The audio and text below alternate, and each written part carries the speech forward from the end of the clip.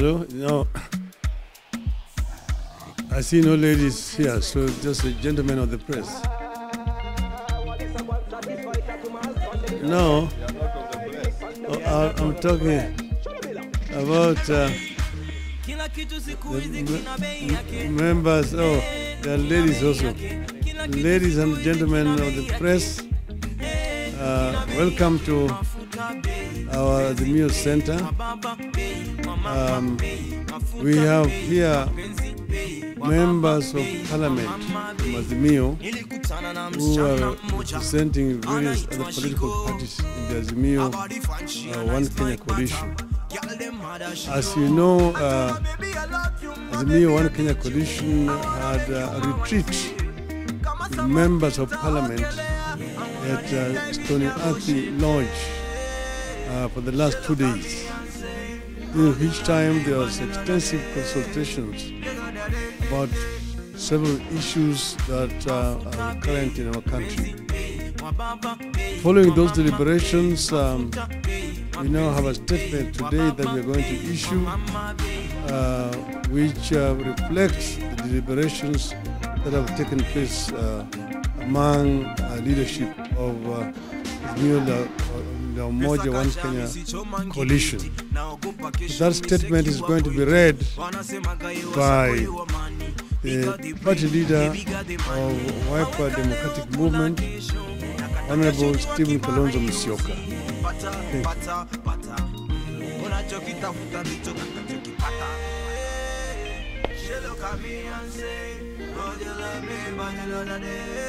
Uh, Thank you so much, uh, uh, brother. The Honorable Raila Amolo Odinga is our coalition leader. Um, members are still probably trying to come from Stony Athi. I want to thank the members who have already managed. Honorable Waluke, you can put up your hand. Honorable Mishi Mboko, Honorable Wario, Honorable Enoch Wambua, Honorable Nyamai Rachel, Honorable Lekina, Honorable Honorable Kamene Joyce, Honorable Eddie, Senator Eddie Gori, Senator Kajwang, and Honorable Iribai on Tana River, and Honorable Arama. So, Senator Sosi just come in uh, behind Senator Ombua. So, um, one more. Ah. Nabi Nambwera. Thank you, Nabi. I remember you yesterday eh, when you stood on a point of order. Yeah, thank you. Uh, I'm therefore going to read the resolutions of the Azimio la Umoja One Kenya Coalition Party Parliamentary Group meeting, which was held yesterday and today, comes to an end 16th and 17th of September 2022. The Azimio la Umoja One Kenya Coalition Party has successfully concluded a two-day parliamentary group meeting in Machakos County. In the meeting, the parliamentary group took stock of the state of the nation and developed its plan for the 13th parliament. From the outset, we wish to associate ourselves fully with the remarks of the Right Honorable Raila Odinga when he opened the meeting. Right Honorable Odinga's speech has brought to the fore very pertinent issues that should form the basis of serious national discourse going forward. For the avoidance of doubt, Azimio Oka is legally and legitimate, legitimately the majority coalition in the National Assembly. This is not a matter for determination by any individual or office. It is simple arithmetic. And so, to settle this matter and put the record straight once and for all, members of parliament belonging to the Azimio Oka coalition have been properly advised to take up majority roles and responsibilities in and out of the National Assembly chamber. The Ruto administration has started off on the wrong footing on almost every front. Most painful to the ordinary Kenyan is the declaration that Kenya Kwanza will not subsidize consumption, but will channel subsidies to production.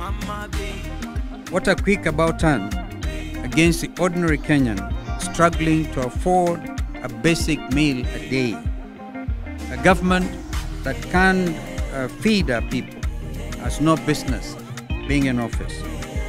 The import of this statement by the Ruto administration is that this government is committed to collecting taxes from the suffering masses to give a lifeline to big manufacturers of food and non-food items.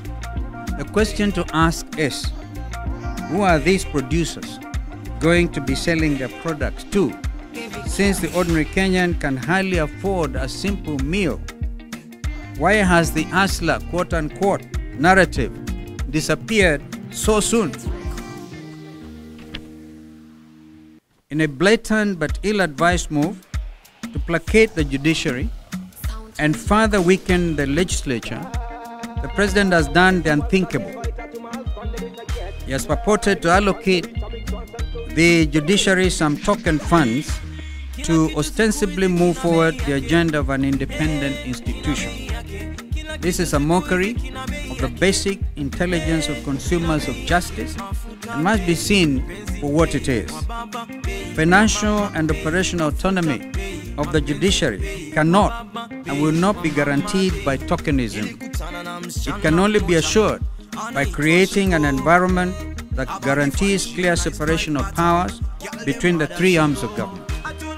And whereas funds are necessary for effective dispensation of justice, it is not the business of a president acting in isolation to allocate funds to the judiciary.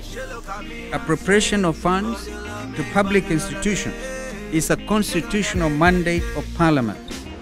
The president must tame his appetite for throwing money at institutions to buy friendship. He must keep up the judiciary and let the legislature do its work. As part of the Ruto administration's vindictive agenda, plans have already been initiated to hound out of office the four IEBC commissioners, namely Juliana Cherera, Francis Wanderi, Irene Masit, and Justus Nyangaya, plus the deputy CEO, very hard-working Madam Ruth Kulundu, for refusing to toe the line. We totally condemn this brazen act of witch hunt and demand that the president and his agents leave those officers alone.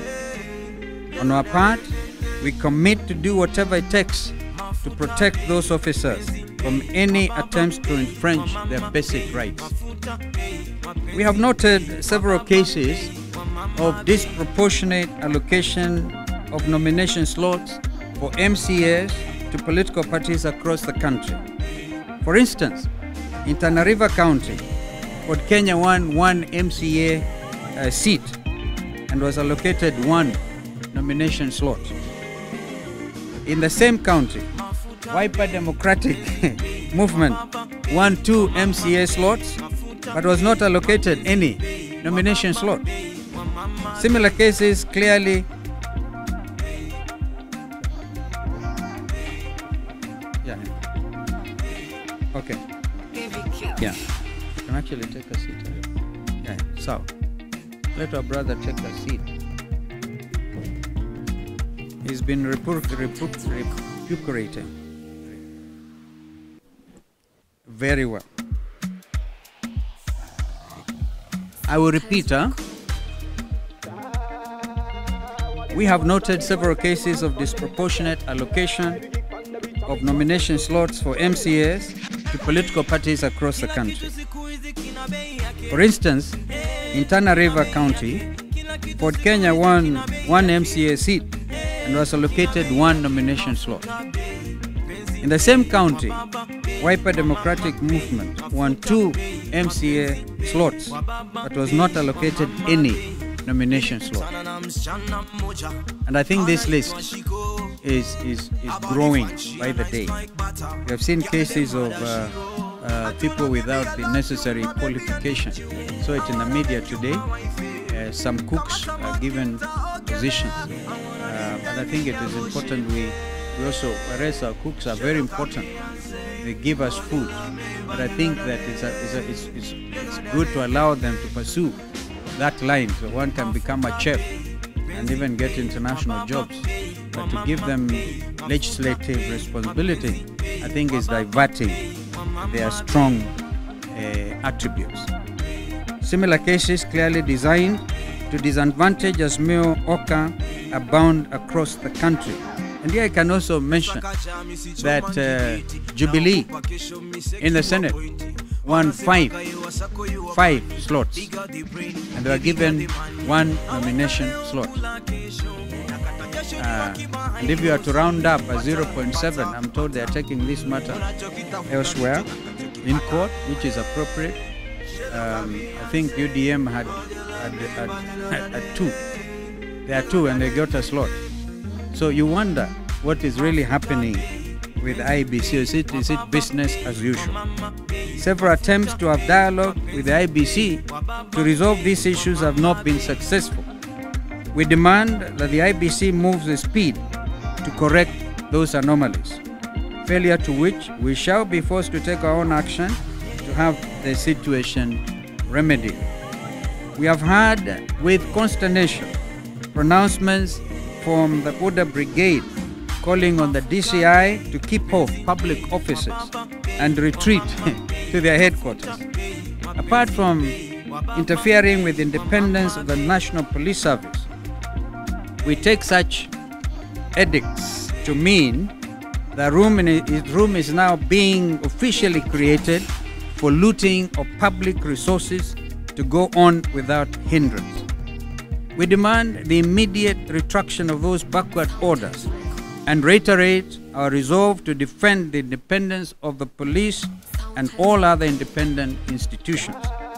We have also noted with concern the return of roadside declarations, as official channel of espousing government policy.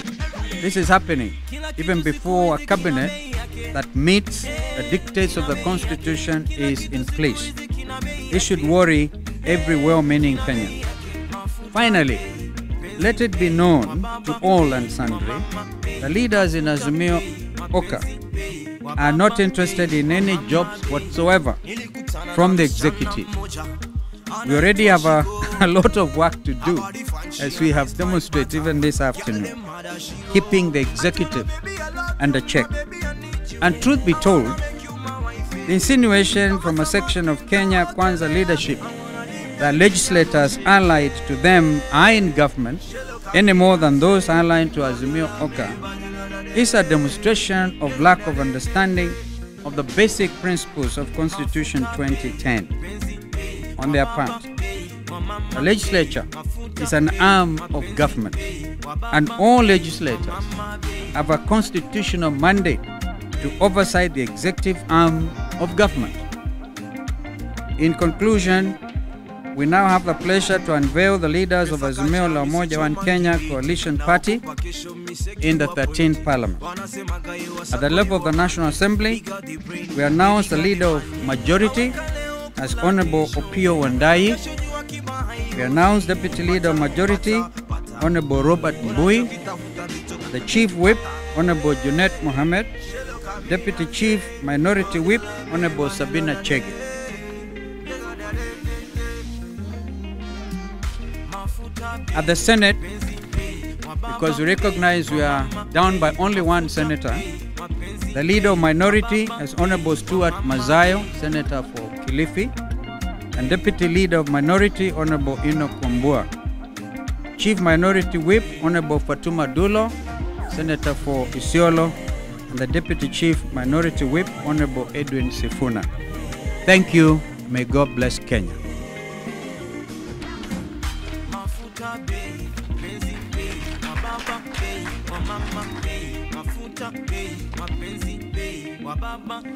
Actually, ni hayo tu.